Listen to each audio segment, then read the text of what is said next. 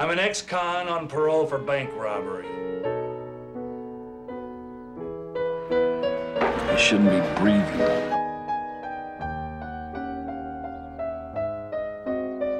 You're about to have a roommate.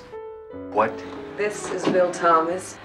Well, I think that's just wonderful. I thought if anyone could get behind it, it would be you. Overestimate me. You're asking for bloodshed. You ready for that? Now, either you both give it a try, or you can both take a walk. Take it or leave it right now. Sorry if I tainted your reputation. Oh, I don't taint easy.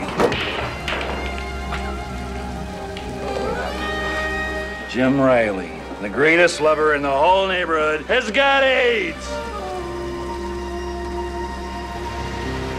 Look, thanks for bringing this by. I'll, I'll try and be over and see you. I figure if you wait much longer, you won't have to come over at all, right?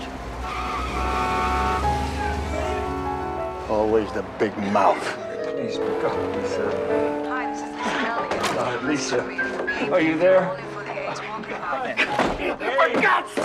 It might help you to know that he's sometimes in a great deal of pain. Lisa, for God's sakes, pick up the phone. Call me. We're all us is really blessed by the bloom of good health, you know. Get off my back and stay off!